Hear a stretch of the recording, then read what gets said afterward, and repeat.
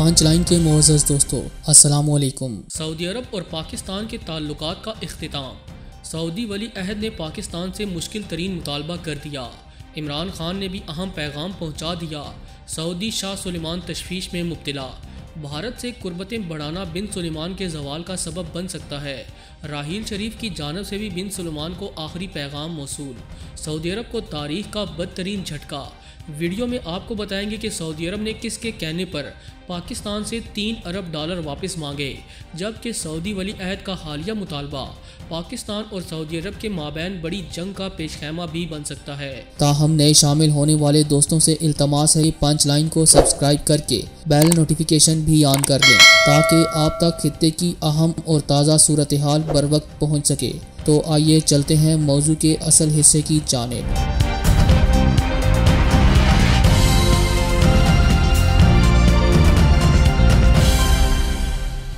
Moz ख़वातिन हजरात, उम्मत मुस्लिमा के किसी फ़र्द ने भी एक लम्हे के लिए भी सोचा नहीं होगा कि आलम इस्लाम की कुर्सी पर बराजमान सऊदी अरब अपने मुसलमान भाइयों के साथ दुश्मनों वाला सलूक करेगा और पाकिस्तान जैसे मुल्क के ख़िलाफ़ भारत का साथ देगा। लेकिन अब ऐसा हो चुका है। सऊदी अरब उस मुल्क के ख़िलाफ़ चालें चलने लगा, जिसने हर मुश्किल वक्त में सऊदी अरब का साथ दिया लेकिन अब सऊदी वली अहद आज बजाते खुद हिंदू दुश्मन के साथ मिलकर पाकिस्तान के रास्ते में कांटे बिछाने लगे हैं, जबकि पसे पर्दा खेल का मरकज़ी किरदार भारत है। सऊदी अरब का ये रवैया बहुत पहले ही अया हो चुका था। कोरोना वबा के मुश्किल तरीन वक्त में पाकिस्तान के साथ हालात ख़राब होते ही, जब सऊदी अरब ने तीन अरब डॉलर वापस मांगे तो ये वाज हो चुका था कि भारत सऊदी अरब के साथ बैकडोर पाकिस्तान के खिलाफ गेम खेल रहा है। लेकिन इसी के साथ साथ सऊदी अरब की इतिहादी फ़ौज के सरबरा राहील शरीफ भी मुकम्मल अलर्ट थे। अब सऊदी अरब की जानब से पाकिस्तान मुखालिफ आने वाली खबरें कोई नई बात नहीं।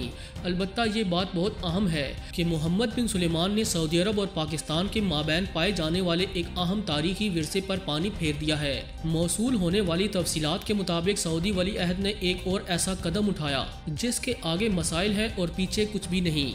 नाजरीन करामी बैन अवी मीडिया ने जो खबर ब्रेक की, इसके मुताबिक सऊदी अरब ने पाकिस्तान से 1400 साल की मुस्तार तारीख वापस करने का मुतालबा कर दिया। लेकिन दरअसल ये तारीखी वरसा क्या है और इससे क्या मुराद है? इससे कबल एक सरसरी सी नज़र सऊदी अरब और पाकिस्तान के हालिया ताल्लुक पर डालते हैं। सऊदी अरब की जानब से पाकिस्तान से तीन अरब डॉलर के कर्ज की दूसरी किस्त के तौर पर एक बिलियन डॉलर वापस लेने के बाद से पाकिस्तान से 1400 साल की तारीख की वापसी का मुतालबा भी कर दिया गया। ज़राए के मुताबिक पाकिस्तान को बताया गया कि जो तारीख इसे आम तौर पर अरब दुनिया ने दी थी और ख़ास तौर पर सऊदी अरब ने जो एक ऐसा कर्ज था जिसे वापस करना है अलबत् पाकिस्तानी सरकारी अहदेदारों ने तस्दीक की कि वो इससे लाइल हैं। सऊदी अरब ने पाकिस्तान से कहा है कि सऊदी बादशाहत से हासिल करदा चौदह सौ साल तारीख सऊदी अरब को वापस की जाए और सीनियर सरकारी अहदेदार ने इंकशाफ किया कि ये बात तमाम पाकिस्तानी हुकूमतों और हमारी सबका हुकूमतों में इतफाक़ राय रहा कि अरब तारीख जो पाकिस्तान को दी गई वो कर्ज था, न कि एक ग्रांट थी। चौदह सौ साल पहले सरजमीन हिजाज से नबी रहमत सल्लल्लाहु अलैहि वसल्लम का नूर मुकदस चमका तो इसने पूरी कायनात को रोशन कर दिया। वक्त गुजरने के साथ साथ जैसे जैसे खुलफाए राशिदीन और अरब सरजमीन के कमांडर इलाकों को फतह करते गए तो इन इलाकों के अंदर अपनी हुकूमतें कायम होती चली गईं। इन इलाकों के अंदर तबलीग इस्लाम के लिए बहुत ज़्यादा मेहनत की गई और इसी तबलीग ने बहुत सारे अरबों को यहाँ बसा दिया। वहाँ पर उन्होंने मकामी औरतों के साथ शादियाँ की, उनसे औलादें हुई। बज़ाहिर वो औलादें अजमी खातन से थीं। बस यहाँ यही बात ख़त्म नहीं हुई।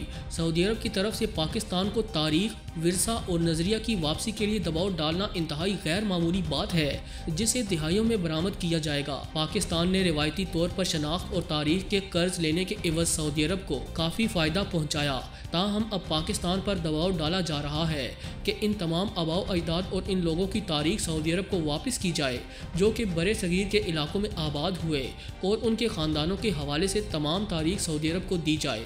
यहाँ ये बात भी काबिल ज़िक्र है कि तुर्की ने भी यहाँ सौ साल तक तारीख मुरतब कर रखी है और फौरी तौर पर तुर्की सात सौ साल तारीख देगा और इसके बाद इसमें बाकी सात सौ साल की तारीख इसमें जमा करके तुर्की बहुत जल्द ये तारीख का कर्जा वापस कर देगा।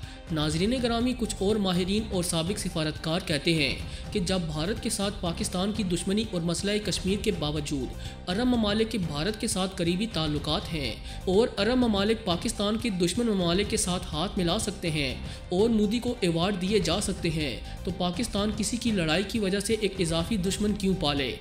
इस तरह की गुफ्तु का आगाज़ करने वाले अनासर फ़कत पाकिस्तानी रियासत को ब्लैक मेल करना चाहते हैं, जिसका एक मकसद ये है कि इसराइल के हक में अपनी मर्ज़ी का फैसला लिया जाए। हकीकत यह है कि अगर सिफारतकारी का यही असूल अपना लिया जाए तो इसके तहत पाकिस्तान का कश्मीर पर मौकफ कमज़ोर हो जाएगा और आखिर में फ़ायदा भारत ले जाएगा। इस तरह की गुफ्तु का आगाज़ करने वाले अनासर और सबक सिफारतकारों को चाहिए कि वो इस बात का ज़िक्र भी करें कि पाकिस्तान का फ़लस्तीन के साथ ताल्लुक़ किसी अरब मुल्क और रियासत की वजह से नहीं, बल्कि एक आलमगीर इंसानी असूल और उसके बाद बतौर मुसलमान अक्सरियत होने की वजह से है।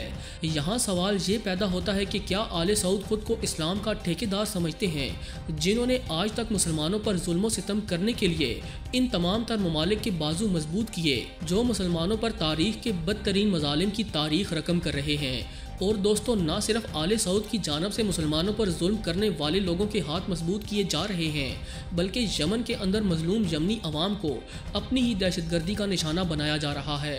आले सऊद को ये बात याद रखनी चाहिए कि जिस तरह से वो इस्लाम दुश्मनी में बढ़े जा रहे हैं, इसराइल इस इस्लाम दुश्मनी का हर तरह से फ़ायदा उठाना चाहेगा। लेकिन अरबों को याद रखना चाहिए कि सबसे ज़्यादा नुकसान भी इन्हीं का होगा, वो पहले की तरह महफूज और पुरअमन नहीं रह सकेंगे। मोजस खातिनों हजरात एक हकीकत ये भी है कि अभी तक कुछ इखलाकी हदें कायम हैं जिनकी वजह से ईरान या कोई और मुल्क अरबों को खसूस सऊदी अरब की तरफ़ आँख उठाकर भी देखने की ज़रूरत नहीं कर पाया। लेकिन अगर ये इखलाकी हदें अरबों की जानब से पार की गईं तो अरब भी अपने मुल्कों में महफूज नहीं रह सकेंगे। अरब खबर रसा एजेंसी अल जजीरा के मुताबिक आल सऊद मुतहदा अरब अमारात और इसराइल जमन के जजीरे सत्रह में इंटेलिजेंस अड्डा कायम कर रहे हैं, जो बुनियादी तौर पर पाकिस्तान और गवादर समेत खत्े पर नज़र रखने के लिए है। मुतहदा अरब अमारात को इस सिलसिले में वजाहत पेश करने की ज़रूरत है। जबकि पाकिस्तान को चाहिए कि वो गवादर या कराची में एक बड़ा हवाई अड्डा कायम करके पाकिस्तान को साठ की दिहाई के उस इंटरनेशनल मरकज़ को बहाल करे, जो कि पाकिस्तान ने रजाकाराना तौर पर मुतहदा अरब अमारात के हवाले किया था। पाकिस्तान लेबर कम्युनिटी के हवाले से भी अरबों की ब्लैकमेलिंग का शिकार हो रहा है। लिहाजा पाकिस्तान को चाहिए कि वो कोई ऐसा मुल्क देखे, जिसमें पाकिस्तानी लेबर को काम करने के लिए भेजा जा सके। इस वक्त अफ्रीका लेबर की बड़ी मार्केट बन रहा है, जिससे पाकिस्तानियों को ज़रूर फ़ायदा उठाना चाहिए। दुनिया भर की मार्केट में तलब का जायज़ा लेकर इसके मुताबिक मुख्तलिफ़ हुनर और उन मुल्कों की जबान के बुनियादी बोल चाल के कोर्स करवाए जाएँ, ताकि अरब सरजमीन से वतन वापस लौटने वाले वर्कर्स दूसरे ममालिक में अपना रोज़गार तलाश कर सकें। पूरी उम्मीद है कि आज की ये वीडियो आपको बेहद पसंद आई होगी। वीडियो पसंद आने की सूरत में इसे लाइक करते हुए दीगर दोस्तों से शेयर करें और हमारे चैनल को सब्सक्राइब करना हरगिज न भूलें। आज की वीडियो में बस इतना ही। अगली वीडियो तक के लिए अल्लाह निगहबान